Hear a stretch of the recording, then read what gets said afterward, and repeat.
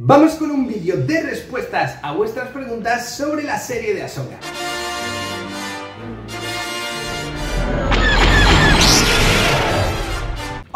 Perdidos y perdidas en COD y bienvenidos a un nuevo vídeo de vuestro canal de Star Wars. Quedan poco más de dos días para que se estrene el esperadísimo episodio 5 de la serie de Ahsoka y hoy pues os traigo un vídeo para amenizar la espera respondiendo a vuestras preguntas sobre la serie. Como siempre, eh, creo un post en la comunidad de YouTube y me habéis dejado muchísimas preguntas. He cogido las más interesantes y las que más se repetían y aquí tenéis el vídeo donde contesto a ellas. Vamos a empezar con una pregunta de Tali51133.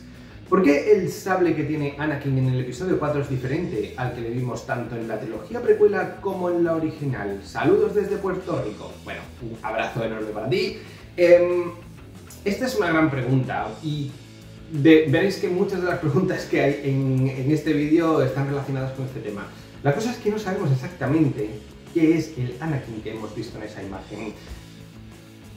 No es un fantasma de la fuerza, no tiene ni el halo habitual ni nada que podamos decir que es un fantasma, con lo cual tiene que ser otra cosa. Ahora bien, ¿qué podría ser? Yo tengo un par de teorías al respecto, seguramente está muy relacionado con el tema del mundo entre mundos pero también podría ir un poquito más allá la cosa. No quiero decir nada que pueda ser spoiler. Lo que sí estoy seguro es que va a tener una explicación a lo largo del episodio. Vamos a ver una pregunta de Eric Ceballo. ¿Crees que veremos el encuentro de Ahsoka con Luke Skywalker en lo que queda de serie? Sinceramente no.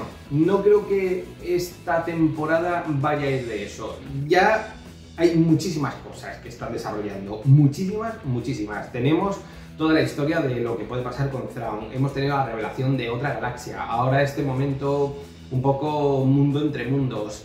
Eh, hemos conocido a muchos personajes. Aquellos que no han visto Clone Wars o Rebels, pues también se han encontrado con muchísima información. Creo que la temporada está ya bastante completa y como en principio va a haber una segunda, creo que ahí es donde podríamos ver ese encuentro, o al menos más relación entre Luke y Ahsoka. Vamos ahora con una pregunta del señor Brick. Anakin no tiene el efecto de fantasma de la fuerza. ¿Crees que esto se debe a que el Anakin de la serie es el mismo que el del retorno del Jedi, pero que el mundo entre mundos de alguna manera le permite estar en carne y hueso? Mm, no, no creo que sea un fantasma, insisto en ello. Creo que todo va a tener mucho más que ver con Ahsoka que con el Anakin que hemos visto puede que sea una especie de proyección que hace Ahsoka dentro del mundo entre mundos. Puede que incluso sea un Anakin salido de uno de esos portales momentáneamente, aunque no estaba sorprendido de la situación.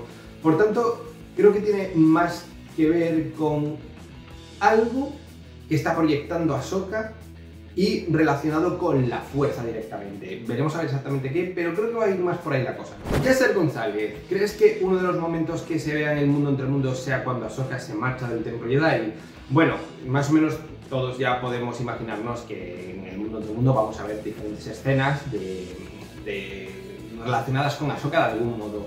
Y sí, creo que esta sería una escena muy eh, impactante de ver, por supuesto, en live action y además muy impactante para el personaje.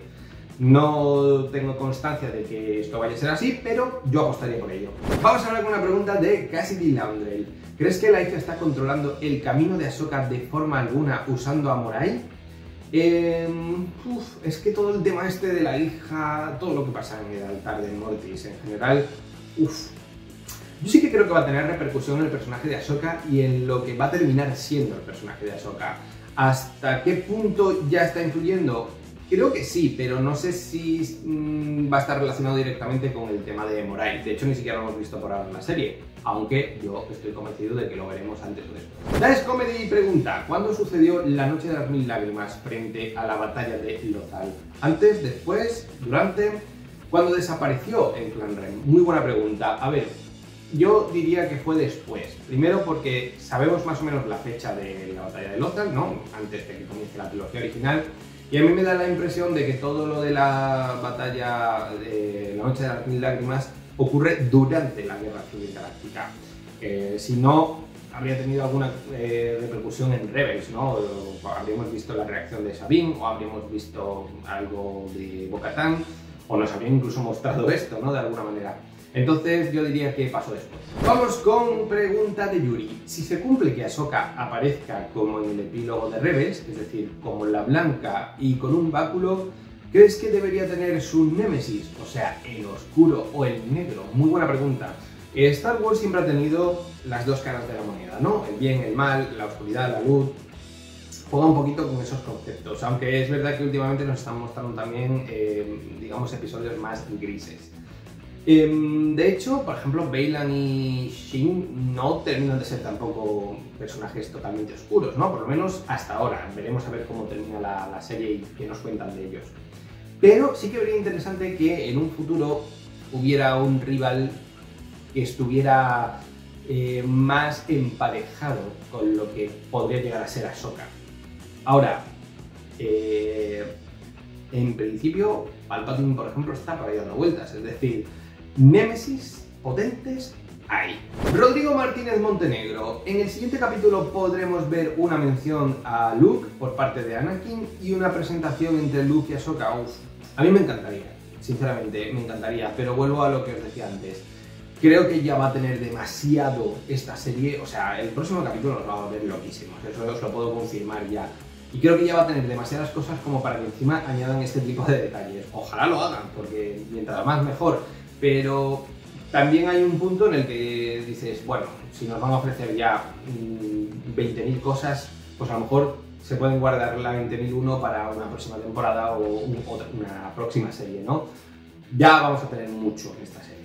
Anton97, ¿Ahsoka y Hera irán a seguir a Baylon y a Morgan? Y si es así, ¿cómo lo harán? Gran pregunta. Eh, yo creo que sí. En algún punto Sí. ¿Cómo? Ni idea. Esto no tengo ni la más remota idea. Yo supongo que estará relacionado con los Purgil. No sé, por ejemplo, si Kera irá. Yo creo que eso casi que tiene sentido que intente ir a esa otra galaxia. Y, insisto, el cómo lo harán es uno de los puntos que no se han revelado.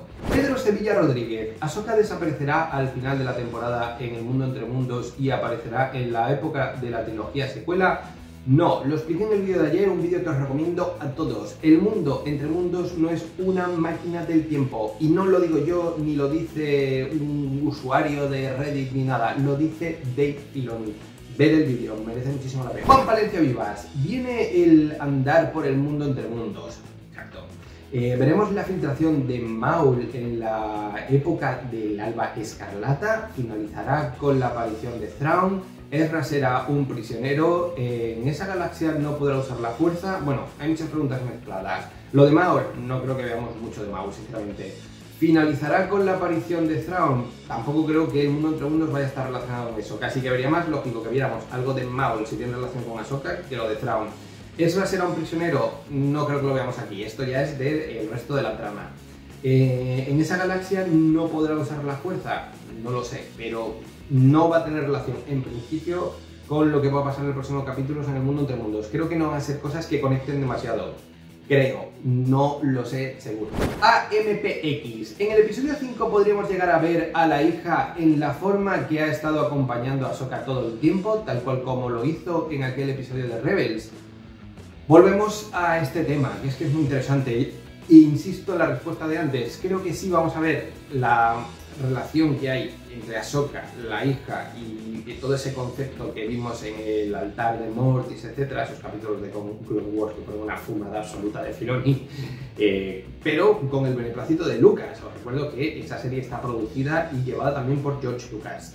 Em, pero no sé cómo va a salir muy bien esta historia, es decir, eh, cómo van a mostrar esto de forma visual, que Ahsoka es algo más. Eh, pero creo que sí que lo van a mostrar. José Fernando Ecos Pomar, ¿por qué demoraron tanto Ahsoka y Sabine para buscar a Ezra? ¿Cómo supo Ahsoka que Morgan sabía la manera de llegar donde Thrawn? Bueno, a la primera pregunta, supongo que simplemente porque no tenían un pistas, eh, es decir, tampoco hemos visto lo que ha sucedido, pero había un paso largo hasta encontrar a Morgan Elsbeth y sacarle la información. Vimos, digamos, el final de esa historia con lo que vimos en la segunda temporada de Mandalorian. Nos falta todo lo anterior, pero, eh, claro, empezar a, encontrar el buen sendero es difícil. A veces es lo que más cuesta. Una vez que empiezas a tener las pistas, el puzzle se empieza a formar más fácilmente, pero hasta que consigues las piezas, pues cuesta. En cuanto a la segunda pregunta, eh, ¿cómo supo Ahsoka que Morgan sabía la manera de llegar donde Thrawn? Pues supongo que simplemente sospechaba que ella tendría información. Y ojo que el hecho de que Morgan le diera esa información a Ahsoka no fuera una trampa para que le resolviera la papeleta. Ojo con esto. Vamos ahora con una pregunta de Pedro Chauvel. El personaje de Marrock no os ha parecido de relleno. Menudo final le han dado y sin conocer su identidad. Mm, para mí personalmente no, es un personaje que ha tenido su importancia X en la historia, la que ha estimado oportuna de Filoni. ¿Podrían haber mostrado más? Sí. ¿Podrían haber mostrado menos? Pues también. Sin más, la verdad. No me gusta sobreanalizar personalmente ese tipo de cosas. Es una decisión del guionista y ya está. Y vamos a terminar con una pregunta de R2D2 Outfits. ¿Crees que Ahsoka llegará a la otra galaxia por medio del mundo entre mundos? No.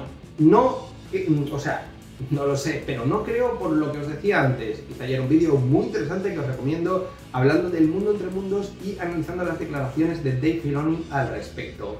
No es ni una máquina del tiempo ni una máquina del espacio. Tal vez lo de ir a ver a través de un portal lo que hay ahí podría ser, pero ella después tendrá que volver al mismo punto temporal en el que estaba originalmente. Por tanto, sinceramente, no creo que ese vaya a ser el desarrollo de la historia. Otra cosa es que a través del mundo entre mundos eh, entienda la manera de poder viajar hacia esa otra galaxia o busque o encuentre una forma. Pero no creo que sea precisamente la herramienta para viajar.